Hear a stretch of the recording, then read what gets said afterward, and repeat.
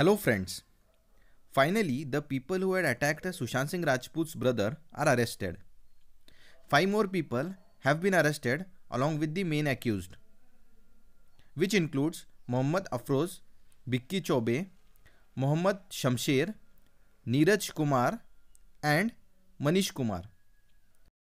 The accused said that these people were hired and given contract by famous gangster of Baijnathpur. They also said that they have received 5 lakh rupees for doing this. The accused also said that the attack was made for property related issues. So friends, as of now, the big news is that the people who attacked SSR's brother have been arrested. So friends, as soon as I get more updates regarding this, I shall let you know. Till then, stay connected for more updates. Thank you.